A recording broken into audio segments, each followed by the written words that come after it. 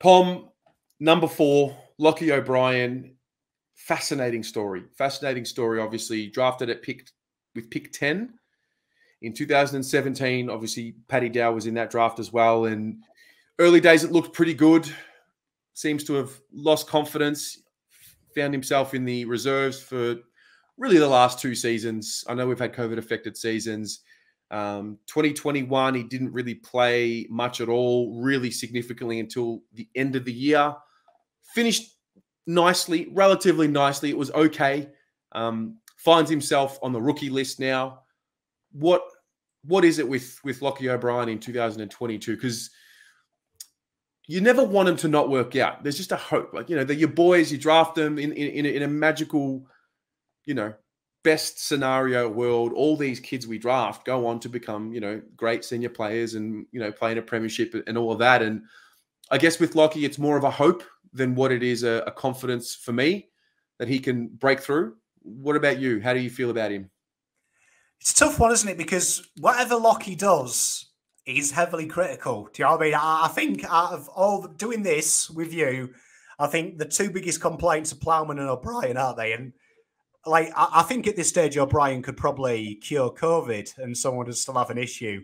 Like he, he is in that bracket, bless him. But I think if we look at it pragmatically, I always look at Kamdyn McIntosh. So McIntosh was recently voted by Richmond fans in an internal poll as most underrated footballer in their league. And he plays the similar position this year. He's been playing on the wing. And I think people get caught up with disposals and you got to remember, yeah. Carlton for a wingman, O'Brien is at the worst club in the AFL because Carlton used their wings in the last couple of years as much as a hippo does. So the poor guy has to go looking for the ball on the ball, and that's the last place we want Lochie O'Brien inside a contest. So I think you look at the last couple of games. For me, I didn't mind them. The 17 19, he had 21 against the Saints as well, where we did actually go down the wing, and he did look quite a potent force at times.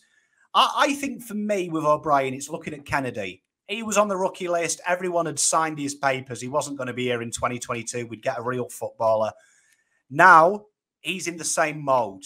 This is literally the wake up call for O'Brien. And I think, I, I don't think he's as bad as people think. I, I, think he doesn't get the continuity. He's playing in a role where the ball never comes to him anyway.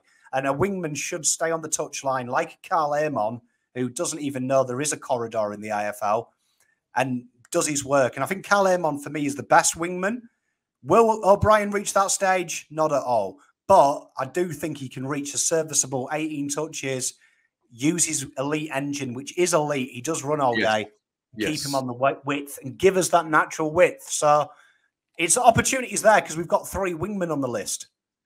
Yeah, there's two things about what you said that I want to bring up. One is about him being a natural wingman, and that when we saw someone like a Setterfield go to the wing, or even a Matt Kennedy at times, they're inside players, so they're naturally inclined to be drawn to the ball.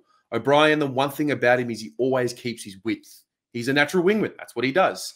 Um, and then the second part is about, yeah, we don't use the wings. And then it, it, sort of, I was thinking about it as you were talking. Look at who has coached him up until this point. Uh, yeah, I, I, he, I, he has been blessed. You know, so I don't know if a, a, role has really been defined for him, which has been bought in by him, by the rest of the players, and you know, I I just hope that now with this new coaching group, they can they can really get the most out of him. Because the one thing about him is, I mean, he's got the attributes, and he's got attributes at a very high level, and every player will have attributes at a very high level, and some of them won't be at a high level. And obviously, for, for Lochie, you know, the contest work and people will bring up that he doesn't go in hard enough for. I think that's I actually think that's bullshit because he's not meant to. It's not what his his job is. But also, when you talk about flying the flag for your teammates and when you see little spot fires emerge, go back and watch the tape. This kid's always, always in there backing in his mates for, for those those dust ups and things like that. But I'm hoping that I'm hoping that they find a way to utilize him and put him in a position to succeed where we're getting the ball in his hands in situations that are, you know, conducive to his strengths. I think the St Kilda game was the template. The where he got the ball, the way he was running. I mean, he was obviously creating space with his run, but the way he was kicking the ball that day, you could just see the confidence in him on that day. And we, we were in a situation there as a team where everything had almost blown up and we had no choice. We had to play together and play as a team. And lo and behold, he had his best game in, in quite some time. But like I said before, it's it's it's more of a hope. I just hope we can get it done with him, and I hope for his his sake that um, he can go through the adversity early in his career and come out of it a better player and a better person for it. Because one thing we've we've seen as Carlton supporters with our draft picks is they play early, and at the end of their careers, they don't know what it's like to be dropped. They don't know what it's like to you know drop in form and and have to go through these situations. So I'm hoping that whatever Lochie's going through is going to be for for the best of Lochie. I think if you look at St Kilda, and I think you've nailed it there. You look at St Kilda. St Kilda pack more players in the corridor than than at a wedding. Do you know what I mean? There is so many people down that middle. So I think when you look at what Lochie did that game, six score involvements, four goal assists, three relieving marks outside of defensive 50, he was the perfect wingman. Like you do that 12 times out of 20, you're on the brink of the All Australian team. Like that is if they actually picked wingman because they cheat and play inside midfielders. But as a natural wingman, he can do that. That is elite. That game, if you have two wingmen doing that, you win more games than you lose. Absolutely. So I think that says to me there's hope.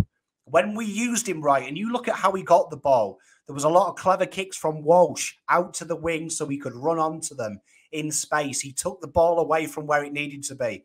And once he started to get that ball on the outside with a bit of time, he's got a hell of a peg on him as well for a little boy. He can hit that, he can kick that a mile. So again, see Dow, early ball entry inside 50 with Harry equals goal. Lochie can bring that all the time. So for me, I, I back him in. I think he'll go off this year. I love it. I love it. If, if, if he can be, if we can get production from him, and not so different to Dow, where we're saying at the end of 2022, wow, Lochie, he did it. Very similar to what we're saying with Matt Kennedy now. If we can say the same thing, and the reason that we would say the same thing is if he goes out and does does it on the field. So if we can get that from him, um, will be a you know will be a better side. How much better? That remains to be seen. But the the reality is right now, natural wingmen on this list, who are they? it's I think he's at the top of the list in terms of natural yeah. wingman. It's him, you know, Cottrell. Cottrell, maybe you can say Zach Fisher's really a wingman, but we don't we don't really know. We'll get to him later in the series, but you know he's at the top of the food chain when it comes to wingman. So fingers crossed for Lochie. I hope he can do it. I really do, and I hope that we can be having a, a positive conversation about you know his work ethic and and the, you know his season ahead. So we'll leave it there. Let us know in the comments. What are you forecasting for Lochie O'Brien? What does he need to do for you uh, to be successful and to, I guess, earn himself the next deal? Let us know in the comments.